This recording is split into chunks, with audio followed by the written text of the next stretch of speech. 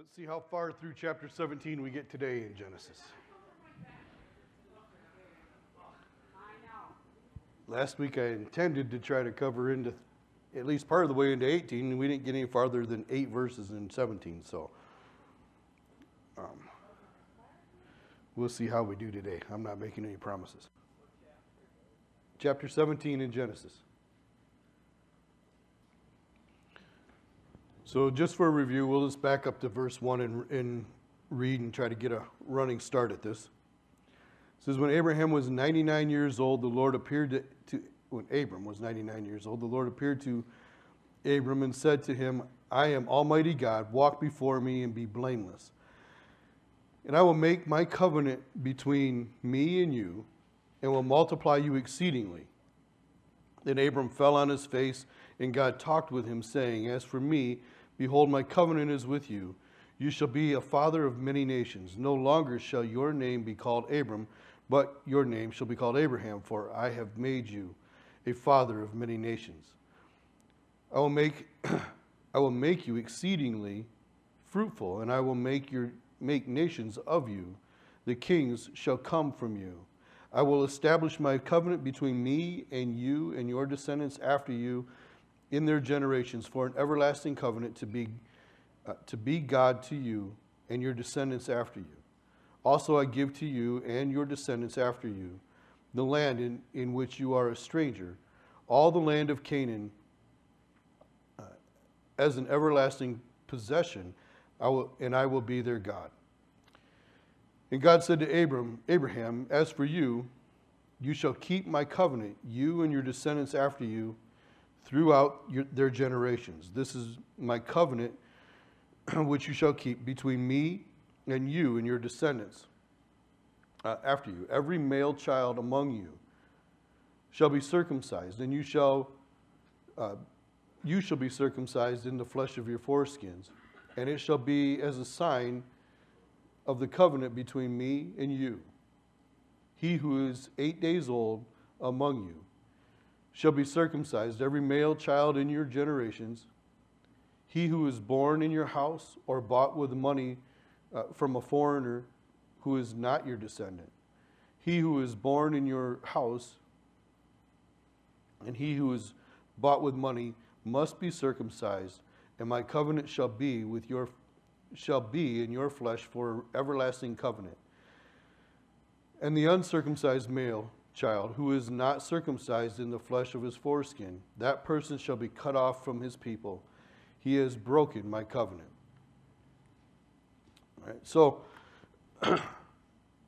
last week when we were getting into this, we see Abram, 99 years old, uh, and the Lord just appears to him. Now, he's, he's had conversations with the Lord already in the past. He's received the covenant already. He's 99 years old. He's going to be 100 years old when Isaac is born. You remember God and, or God, Abram and Sarai tried to help God out and said, surely he must have meant I mean, he said he would come, the, the child would come from you, but he didn't say he would come from me, so here, take Hagar. Maybe that's what God meant. Right? And, and that created a whole another problem that is still prevalent today. But um, God told him it's not going to come from Ishmael. Right? This is not the, the son of promise. But he just shows up here at this point and he just says, I am Almighty God. And we talked about that for a long time because it really means sufficient. It's El Shaddai. I'm the all sufficient one. Everything you need, Abram, everything that you're desiring, every, every promise I've made is going to be provided for by me. Everything that we have is from God. Whether you think you have a little, whether you think you have a lot. It's from God. If you keep that mindset, you keep that perspective, it helps us to deal with life a, a lot better. It helps us to be willing to live life and to be content in what we have and who we are and where we are. Contentment is a hard thing to, to get a hold of, isn't it? We're always worried about the next bill. We're always worried about the next meal. We're always worried about the next car or repair on the car that we have. So we're are in government and what our government's doing. We're worried about what world leaders are doing. And we've talked a lot, especially in the last couple of years, about hope because the world and, and Satan through it is trying to crush everyone's hope. We, they want everyone to walk around and be hopeless so that they can rise up and say, See, put your hope and your trust in me, I'll be your provider. And God is saying, No, I'm the provider. I'm sufficient for you. However much you have, however little you have, that's enough. Right? Understand, I am, God is more than enough. If we will look at that and we will look to Him, we're always looking to the future, then, aren't we? Because we know that our future is with Him. It's not here, it's not in a system, it's not in, a, in an operation, it's not in a job, it's not in a relationship with any man or woman. Our hope, our future is with Him, it's in Him. And He has secured it. And, and, and we saw how it's going to end. We know our final destination. We don't know all the details of it, but we know what it is. We saw that when we were going through Revelation. We saw it at the end of Revelation. We know it going through the Gospels. He's promised. He's made a lot of promises to us in the Gospels. He fulfilled prophecies in his own life from his birth to his death and, and resurrection and his, and his burial. All of those things prophesied in great detail that he fulfilled. He is the all sufficient one. And so, Almighty, I'm not telling you to, to line that out and put sufficient there, they're synonymous with one another. If He can make promises and, and fulfill those promises and make great promises, He's not making a small promise to Abram. This is, you're going to have all of this land. You're going to be the father of many nations. Every, every nation on the face of the earth will one day be blessed by you and through you. And anybody who blesses you in return will be blessed by me, and anybody who curses you in return will be cursed by me. If they are your friend, they're my friend. And the opposite of that should be true as well, right? If, if God is truly our friend, then Israel should be our friend.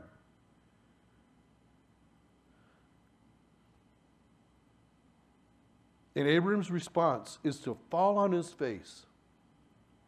Not fall on his face and talk, but fall on his face and let God speak to him. Not to jump up and run around, not to make a bunch of declarations himself, not to his worship as his friend. And, and, and listen, in the, in the New Testament, it says that God, or Abram was a friend of God. But this isn't good old buddy friends. This is a, a friendship full of great respect and honor. That's, that's what Abram has for God. They're not sitting around, you know, throwing one back, being good old boys, that's not what they're doing. That's not being a friend with God, is not just being his buddy. It's to have great honor and respect for him. You know, like you do, hopefully you have a friend that you know. If you're in trouble, you call anytime, day or night, and they're going to be there to help you. That's the kind of friend that we are to be with God, that we are, that God is really to us that we would go to Him with every need we have, that we would put our faith and trust in His Word. You have friends who, if they tell you something, you know they're going to follow through with it. Eh, that's who God is. That's being a friend of God. It, it drives me kind of a little bit crazy when I hear people say, yeah, me and the big man upstairs. Have more respect and reverence for the one who created you than that. If that's your opinion of God and you think you can work out your own private deal with Him, you don't know God. if it doesn't, thinking about Him and being in His presence doesn't cause you to want to get on your face and hide your face from Him, you're not in a good relationship with God. People say, well, we shouldn't have any fear of God. We shouldn't be afraid to go to Him. We can go boldly before the throne. That doesn't mean you get to go bragging and arrogant before the throne. That means you can have great confidence that when you go to the throne, God will hear you. You don't have to be afraid to offer and to pray and, and to praise and worship Him. It's, it's to have and understand we have His grace and we have His mercies, like we read in the psalm this morning. His mercies are poured out on us.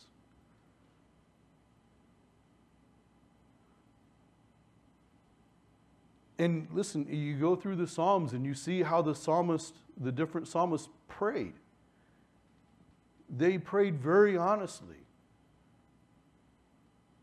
But that was because they, they had a, a relationship with God that was not just following rules, it wasn't just bringing the right sacrifice. All those things were important, very important, but it's not all it was. So they could pray like David would pray bash out the teeth of my enemies. Or like we saw this morning in, in Psalm 6 you deal with my enemies. And even to say in, in that, I mean, when we read that psalm, we know there are some things about it that uh, maybe don't, in our, in our own minds, without really thinking about it too much, just on a whim, maybe didn't sound quite right. Like, who praises you in death? Who thanks you when, you, when they die? Well, we know what's going to happen when we die. That was obviously somebody who, who wrote that. I believe it was David who wrote that, who uh, was just making his heart known before the Lord. In my opinion, God, it, it, it revived me. Don't leave me here like this. I think I could do more for you if I stay alive than if I die. In, that moment in his life, didn't have a, a, a great perspective, wasn't thinking about eternity with God. But when we back up and we see other Psalms as well, David would back up and see and understand that he was going to be with God for eternity, in his presence for eternity. And we see other Psalms where David's heart is right before the Lord and he's worshiping God with all of his heart. So, yeah, we, we have moments and, and we have such a secure relationship with God that we can vent with him. He's big enough to handle that. But be ready to be submissive as well. That after the venting, what comes next is repentance, maybe of the wrong heart in which we vented, or maybe repentance of our own actions, and then worship, and worship again. But to worship God like Abraham does, he, he, he didn't see himself as an equal. Sometimes I think that that's when we start talking about being a friend of God, we start elevating ourselves a little too much to the point where it almost sounds like we're at equal with God. But an equal with God, Abraham or Abram, fell on his face. An equal doesn't, doesn't stand up and hold his head up and be arrogant or be that kind of, of bold. Instead, he falls on his face and lets God talk to him. And that's what we need to do. We need to let God talk to, to us. We need to understand who we go before. Right? When, the, when the disciples asked Jesus, teach us how to pray. And it's amazing to me that that's what they asked for. They didn't say, teach us how to heal. They didn't say, teach us how to preach. They said, teach us how to pray. What's the right way to approach God?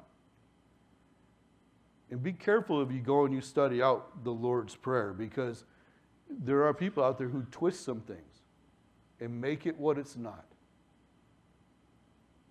They'll tell you there's no sickness in heaven. So when you say Your kingdom come, your will be done on earth as it is in heaven. There's no sickness in heaven, so there shouldn't be any on earth. You should be able to just pronounce healing on anybody and everyone. And it's certainly you should pray for people. You should lay hands on them. You should anoint them with oil. The Bible tells us to do those things. But that's a prayer of submission. Your kingdom come, your will be done. And the, the, the rationality of saying, well, there's no sickness in heaven, so there shouldn't be any on earth, there's no marriage in heaven. Right? We're not going to be marrying or given in marriage. So, so we're not having more weddings in heaven. Should we have them on earth then? I mean, that's the kingdom of heaven, right? Are we out of God's will when we do that? Their, their rationale for that little piece that they put in there. And they're not, you probably can figure out who I'm talking about, but they're not the only ones who do that. There are others who take other places in that prayer and twist it around we, we quote that section of Scripture like it's the prayer to quote. It's a teaching of how to pray, how to present yourself before God. Our Father who is in heaven, holy is your name. To go into before Him with fear and reverence, in honor, and remembering where He is and who He is.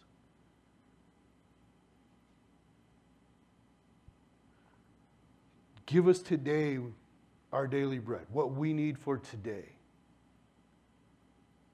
Can you be content with what you need just for today and not worry about tomorrow? I mean, Jesus does a whole teaching on that too, right? You can't add one single cubit to your height worrying about tomorrow. You can't add a, any increment of measure to your height because you worry about it.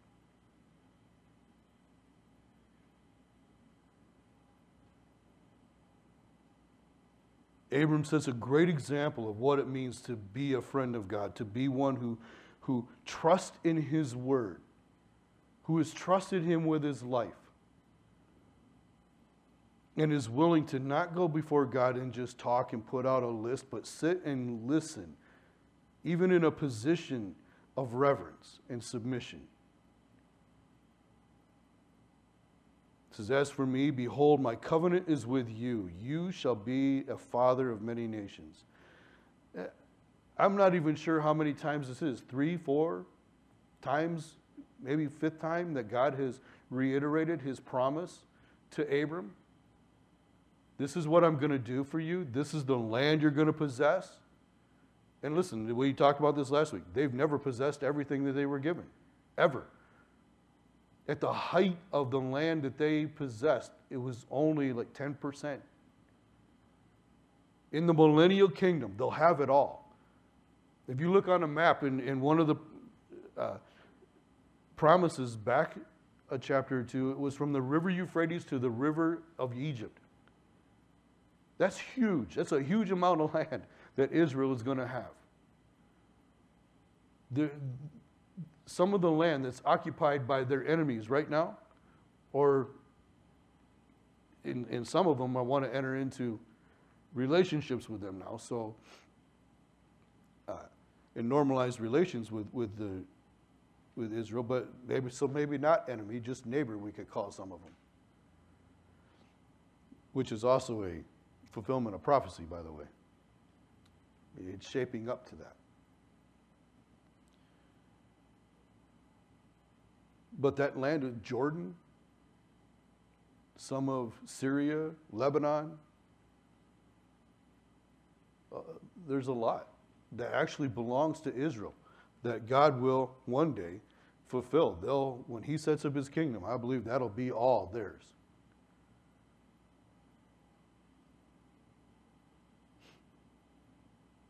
And Abraham, I believe Abraham believed it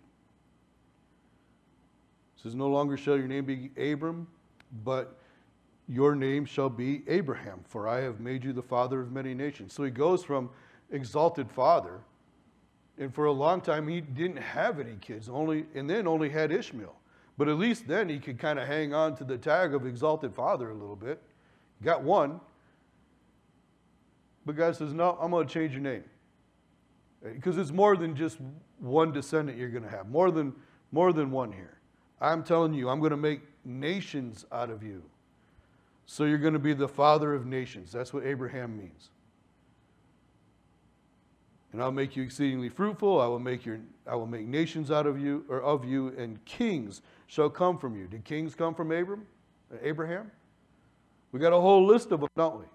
Now we know as we go through the rest of the books of the law, it wasn't really God's intent. He wasn't really what he wanted, that they would have kings, but that they would always only look to him to be their king. But they did not. And even here with Abram or Abraham in this covenant, he's telling them this is what they're going to want, and this is what they're going to have. And it wasn't always great for them. How many good kings can you name out of the, the line of Abraham? When you read through 1st and 2nd Samuel, when you read through 1st and 2nd Chronicles, especially 1st and 2nd Kings, how many kings did they have that served the Lord? Not very many. None when they split into to, to two nations, and you had Israel to the north, and you had 10 nations up there, and you had Judah to the south, and you just had Judah and Benjamin there. The southern kingdom is the only one that had any good kings after Solomon. The kings to the north in Israel had no good king, not one that walked with the Lord. And so they were taken into captivity way before the southern kingdom was taken into captivity by Nebuchadnezzar. But after Solomon, you have Jehoshaphat, who was not super solid, but he was good. You have Josiah, Hezekiah, but there aren't a lot.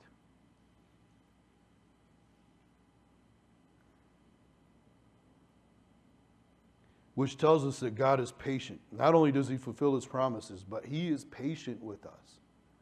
He was patient with his people in their abuse of his promise, and he's patient with us.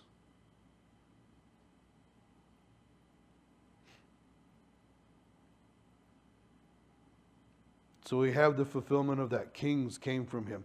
And I will, uh, verse 7, and I will establish my covenant between me and you and your descendants after you in their generations forever an everlasting covenant to be God to you and your descendants after you. Israel still worships not, not as a, a, whole. They're really a very liberal country. They're, not, they're like a microcosm of the United States. They're, they're, everything wrong with us is pretty much wrong in Israel as well. And yet God still blesses them. They're still better at what they do than we are.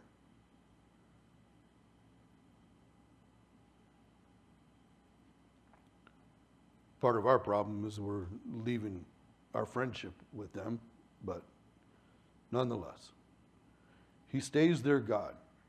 Israel being out of the land, being dispossessed of their land by Rome for, what, 2,000 years?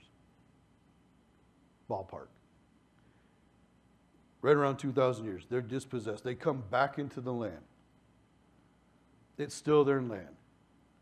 They still have the same religion, even though they were dispersed all over the world. They still worship the same God. They still have the same Bible. They still have their, they maintain their language. I mean, Hebrew today is not exactly the same as it was in ancient Israel, but English today is not what it was 200 years ago. It's not what it was 50 years ago.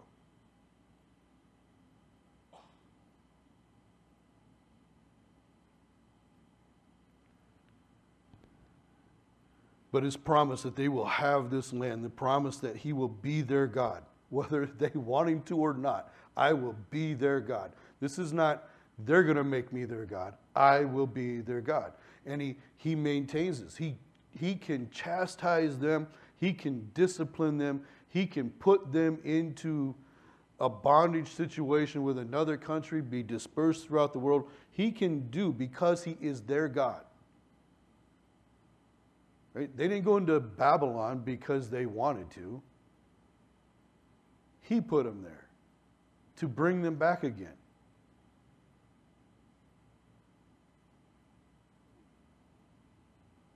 He did what he would do. He said he would do certain things.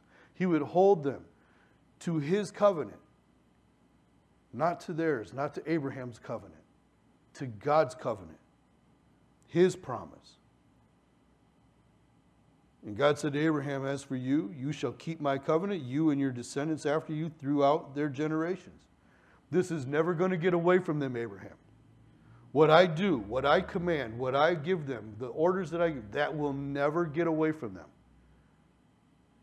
As off as they would be, as far away from God as they would walk, we still have our Bible, God's Word, maintained and written down and maintained all of these generations through this one nation.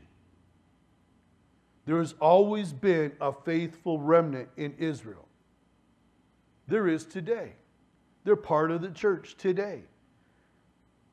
And when the rapture happens and the church is taken out of the way, there will be another remnant that will backfill it. The 144,000 will start with them.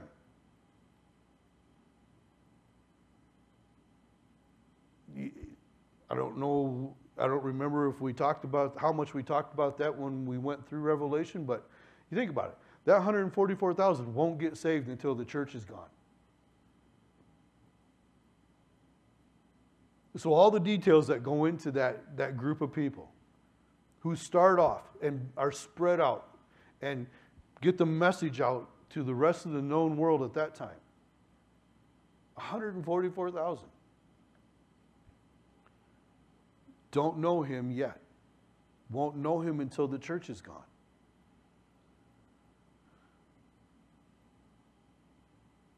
But God, you know, those two words right there go together in every aspect of our life. I do this, I mess this up, I've, but God. But God. Right? But God in his great wisdom, in his great mercy, in his great grace.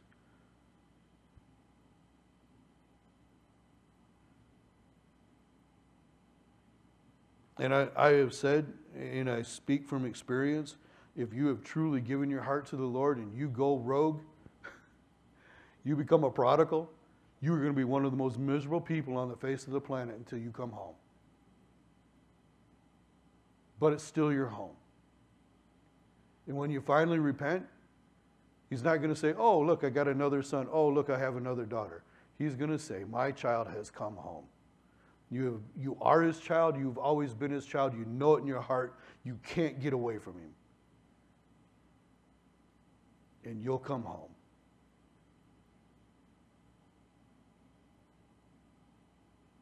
And so if you're praying for one, pray that way, with that kind of faith, with that kind of, of assurance in your heart. God has made a covenant with us, a blood covenant. And everyone who has truly given their heart to the Lord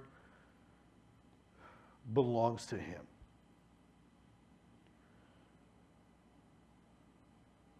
And he says in verse 10 there, This is my covenant which you shall keep between me and you and your descendants after you. Every male child among you shall be circumcised. Good news. That's not great news, I don't think. so everyone had to be circumcised on the eighth day. Everyone who was born or descended from Abram or Abraham, every single one of them, and, and including those who were who were bought, so his servants, Anybody who came in, into his house to serve, all of them had to be circumcised. And I want to challenge you to chase circumcision through the New Testament. There's a lot of negative said about the physical act of circumcision and that the Jews wanted to force circumcision on all believers, right? You have to be circumcised, and yet the mindset was that Christians were still a sect of Judaism So not only did you have to believe in Jesus, but you had to come into Jewishness, right? You had to be a Jew. You had to come into Judaism as well. And it wouldn't have been a far stretch in the mind of some because baptism was one of the last things you did as a Gentile converting to Judaism. You went and you were baptized. The idea was that you are now entering into this new covenant, this new relationship with God, as innocent as you were the day you were born. That's what baptism is all about, right? We, we know every year at Passover, I go through this. We, they would go down to a mikvah uh, when they were going to do something important like engagement or, or betrothal, more properly. They would, they would uh, apart from one another, not, not together, but the, the man, the woman, they would go down into these mikvahs, these little pools of water, and they would go in naked. They were, they were small, so they had to kind of go into the fetal position until they were completely submerged and covered and come out. And the idea was you were entering into this covenant, this promise, whatever it was, whatever it was going to be, as innocent as the day you were born. That's why Jesus says to Nicodemus, You must be born again. And Nicodemus says, How can a man be born again? And Jesus said, You're the teacher in Israel. You don't understand this? You should know the picture is right in front of you. You've done it yourself, Nicodemus. The whole idea there. Right? And so to, to when you converted to Judaism, it was one of the last things that you did. So then to jump from that to then believers had to be circumcised, well, that was part of being Jewish. As you convert or born, didn't matter. And so they started trying to put this on the church. And, and of course, we go through Paul's letters and we see many times he had to confront this and say, no, that's not, that's not what that's about. And he talked about the circumcision of the heart or the circumcision of the flesh. And this is, you know, to, to us, to believers, to Christians, this is an outward sign of God's promise, right, to Abraham th- this was to be a remembrance for him and to all who came after them. This was the promise God made. Because I'm telling you, if you're anybody from Ishmael on up, any, any kid, anybody who's old enough to talk, and Abraham s- says to you, hey, uh, God spoke to me, changed my name, and now he wants this covenant, and he's going to, we have to carry this covenant around as a sign to us. And, you know, somebody might be thinking, you know, Noah had a sign of his covenant that God was never going to flood the earth again and destroy the earth with water, but his covenant's in the sky, not in his body. Why, why do we have to do this? This doesn't, you know, listen, it's a blood covenant. Just like our being saved comes from a blood covenant. Jesus shed blood on the cross. And we are to cut away the flesh of our hearts, our flesh and follow him and worship him. In the, the, the, moment of our salvation, we should always be able to look back on and see that's the moment that God's promise was, was given to me and fulfilled in me. That there would be a Redeemer, that there would be a, a salvation would come. We should be able to look at His Word and see God's promises and say, there it is. That's the moment that my flesh fell off. When I gave my heart to the Lord. This is a moment when every man is going to understand. Abram would have answered, This is the promise God has made. This is the sign God has given to all of my descendants, everyone who comes after me. And because I believe him, we're going to carry out this commandment.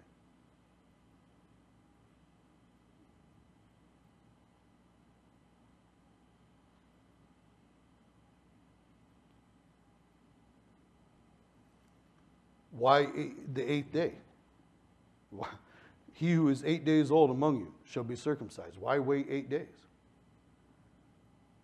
Well, we know part, and listen, this isn't where circumcision started.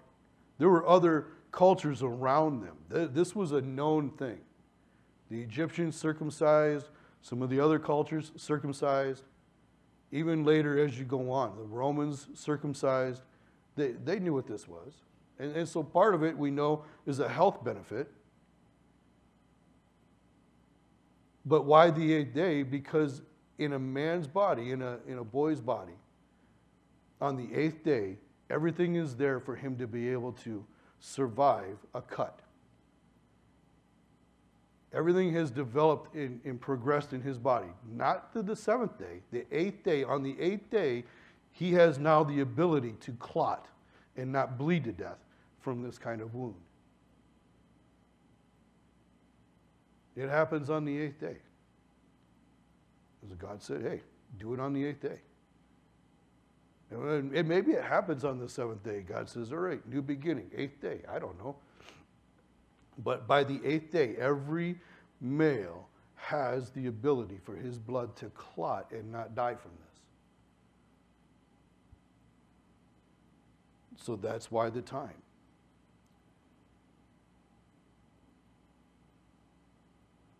And this is to be a sign.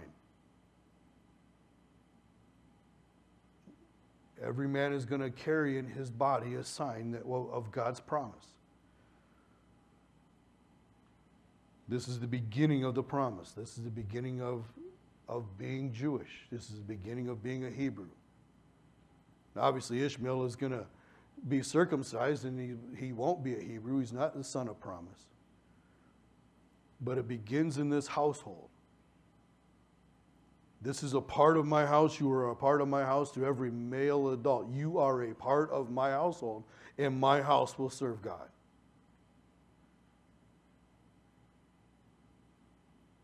Joshua would say a similar thing to those who were following him as they entered into the promised land, coming back home after 400 years of being in Egypt, after 40 years of being in the desert, waiting for a non believing generation to die off. When they would go in, when they would begin to conquer the land, when they would get to the end, they had doled out the, the promise, they had given everybody their portion of the, pro- of the land. And Joshua would say, Take the idols that you brought with you out of Egypt. How do you not lose those along the way? That, uh, when I look at it, these idols that you brought, get rid of them and serve the Lord. And when they would say, Oh, we're going to serve the Lord, we're going to serve the Lord, Joshua kind of gets a little sarcastic. Uh huh, sure you are. You do today. You choose this day. Make this a moment to remember. You choose this day who you're going to serve, whether it is God or whether it is those idols. As for me and my house, we're going to serve the Lord.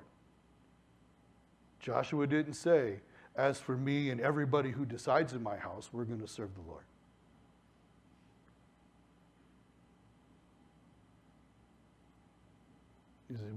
This is it. I'm committing my home, my house, my life, and everybody who comes after me represents that life. We're going to serve the Lord.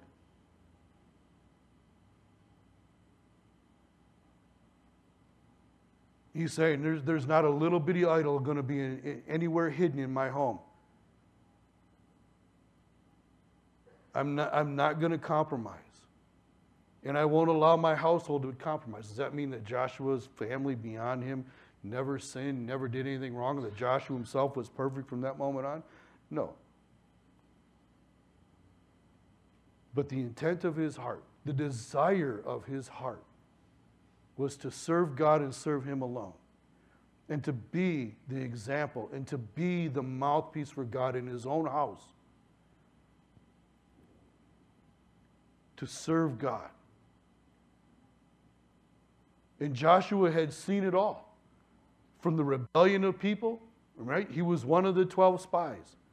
As he comes into that land, he is not just the only one from that generation left, there's only one other, Caleb. And they were the only two out of those 12 spies that came back and said, Yes, there's giants, but God has given this into our hands. He has promised. He promised Abraham, He has promised us along the way. We can do this. God will, He has said, He'll drive out our enemies.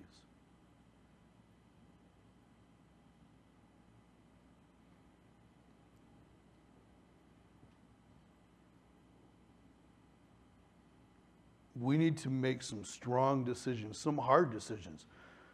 There are always areas in our life that we need to reevaluate and say, Am I serving the Lord here? Have I given this to Him? Am I honoring Him? Do, you, do we have a closet somewhere, a, a hole or, or, a corner back in a dark basement? Do we have some place we haven't given God? Where we hide things or, or whatever that we, we say, you know what? Just in case I decide he's okay with this, or just as a remembrance of how God delivered me, I'm going to hang on to this. Guys, if you have anything like that, don't hang on to it. Get rid of it.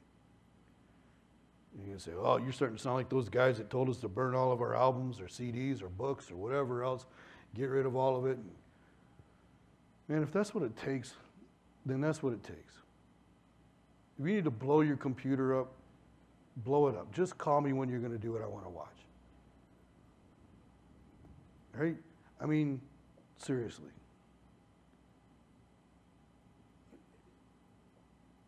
We've got these little things we hold in our, in our hands. Those are our life now. If you don't think that's your life, what happens when you lose it or misplace it? And you, you tell your wife or one of your kids, call my phone. Oh no, I had it on silent. Oh no, the battery was dead. Now what am I going to do?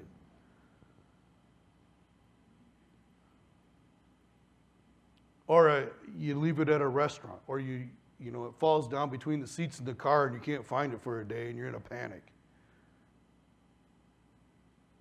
Because I'm not connected. Are we connected to God that way? If you lost your Bible, would you know? If you misplaced it, couldn't find it on Sunday morning? Or you say, oh, you know, Glenn's got a bunch of them in his office, or we got some on the back table, we got some. I'll just use one of those.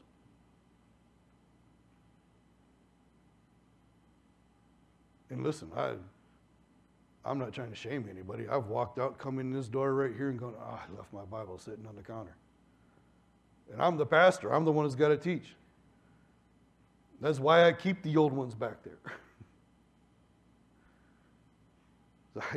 I, I know I don't have to panic. I know there's one sitting back there I can use. You're lucky you haven't had a King James Sunday. So I've got one the two of those back there. Listen, he's made promises. There are things that we do, like we're going to take communion today, that are remembrances. They're not just religious acts. Sometimes when we call these things sacraments, the idea is for it to be sacred to us, right? To, to really mean something. But even that word becomes just another Christian word. This just becomes another thing that we do because we're Christians, and, and it's just a thing we do.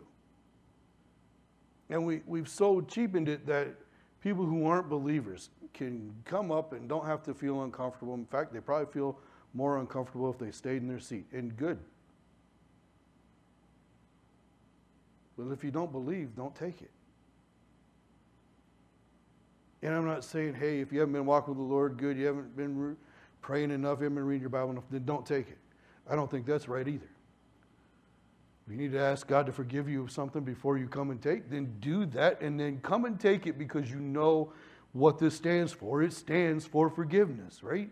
That's part of it. The grace and mercy of God. You ask Him to forgive you and run up here and grab it.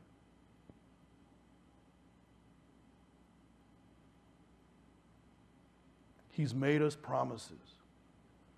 All who come to me, I will not turn away a single one.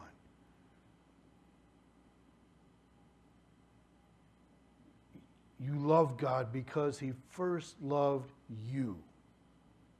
He didn't love you because you love Him. You love Him because He loves you.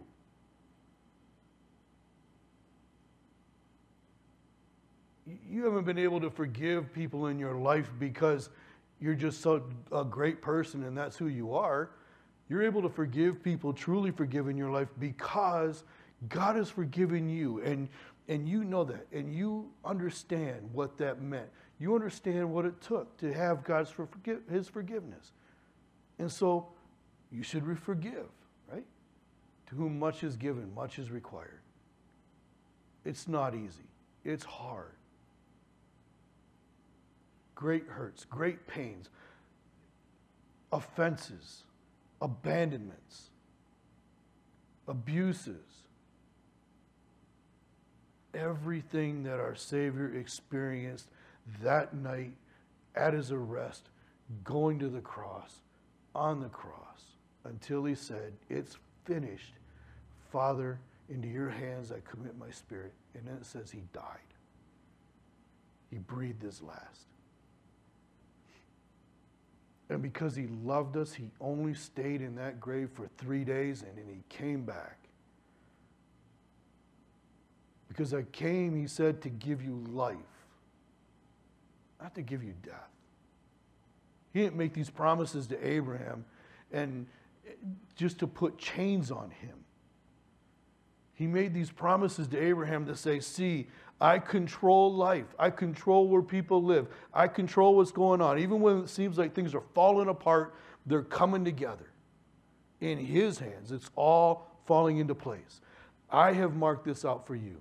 This will be yours. This will be the descendants or the, the land of your descendants, and I will be their God.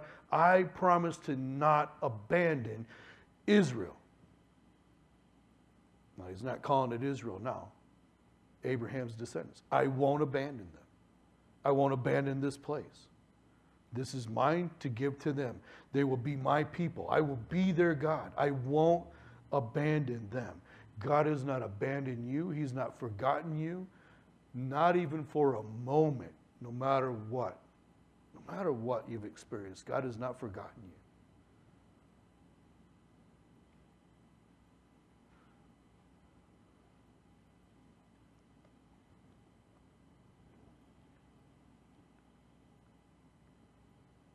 The uncircumcised, verse 14, we'll jump down to there. The uncircumcised male child who is not circumcised in the flesh of his foreskin, that person will be cut off from his people. He has broken my covenant.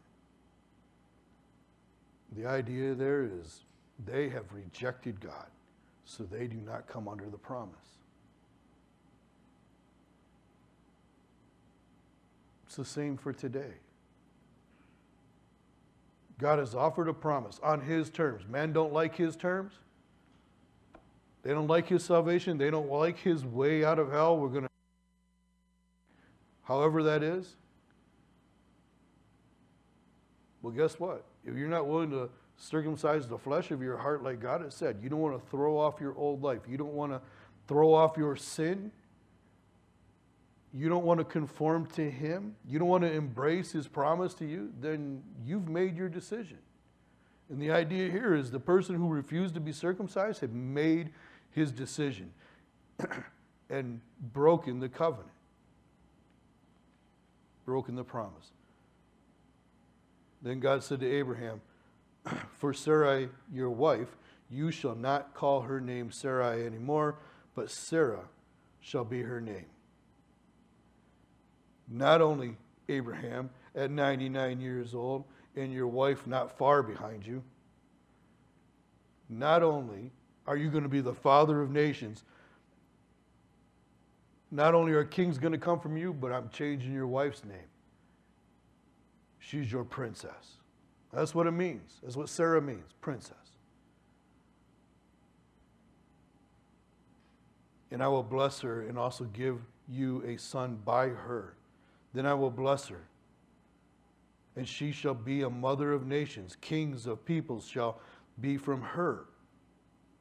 So this takes the promise out of Ishmael, out of that hand, doesn't it? Even though God has promised Ishmael, and we'll see if we ever get to the end of this chapter, we'll, we'll see that God has made promises to Israel.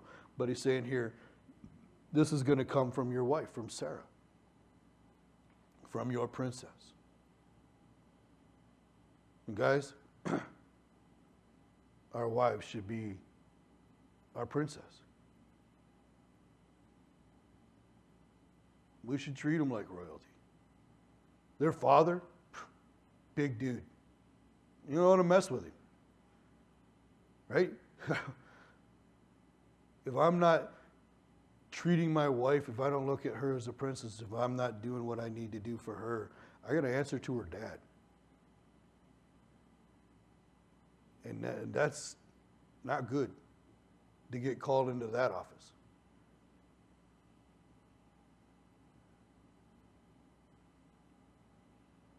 There's a blessing for her. This is a blessing to her. Now, ladies, I don't know about you, but at her age, do you really want to have another baby? Would you, if God said, "Hey, you're gonna have, you're gonna have a son, gonna come from your own body, your old body," I'm gonna, she, it's no wonder she laughs. Right? I mean,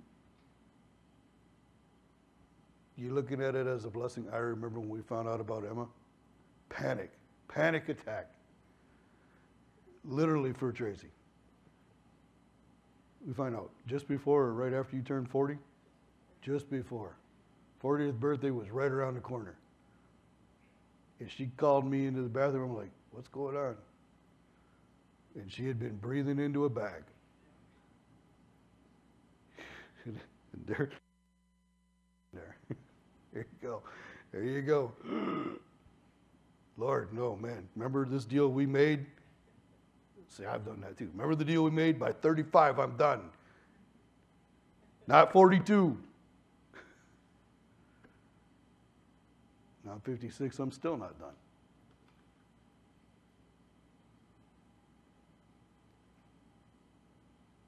But it, it, was a blessing. It is a blessing.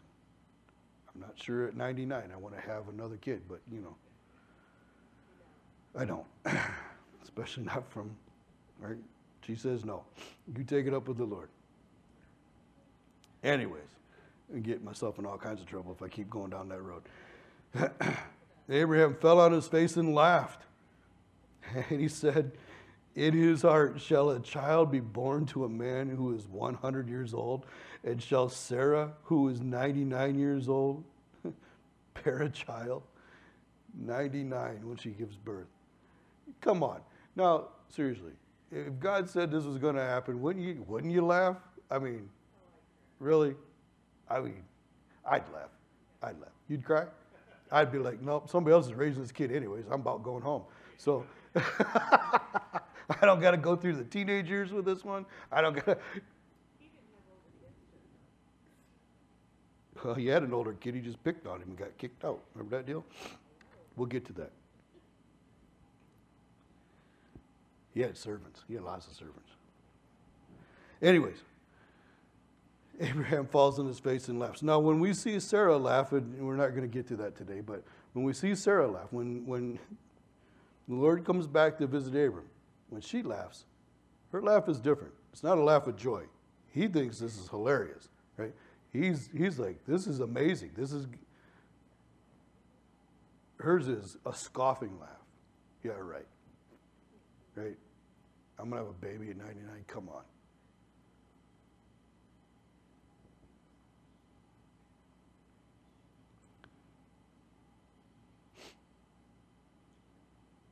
he says, and, and maybe he thinks about Sarah here in verse 18. I got to get wrap this up.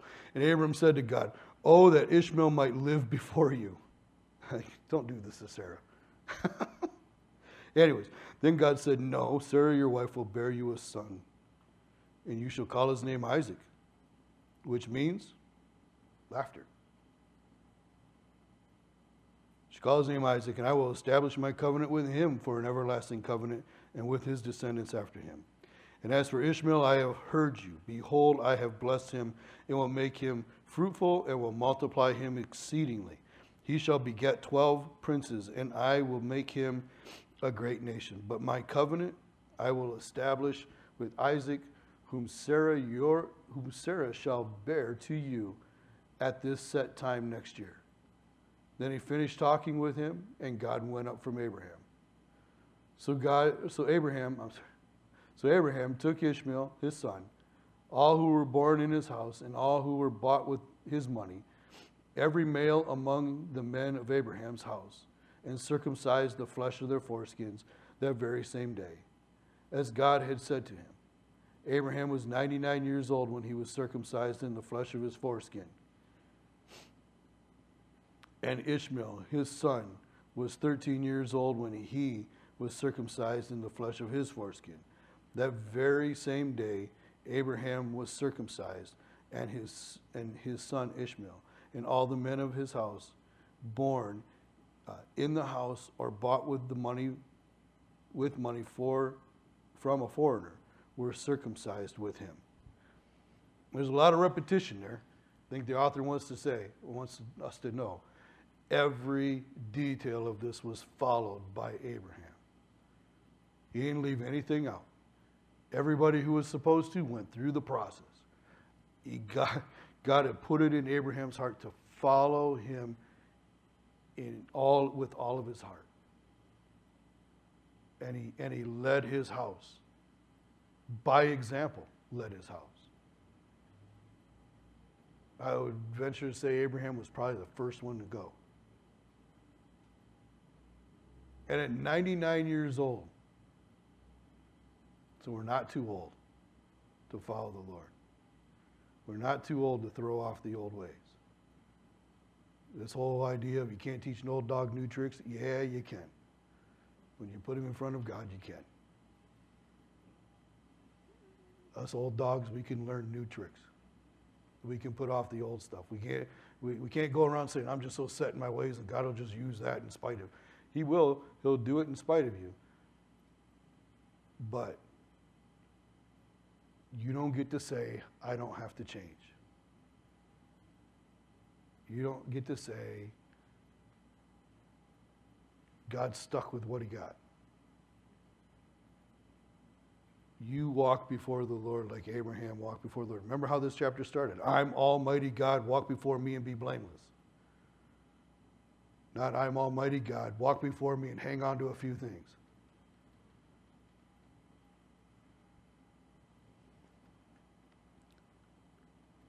So we're going to now take communion.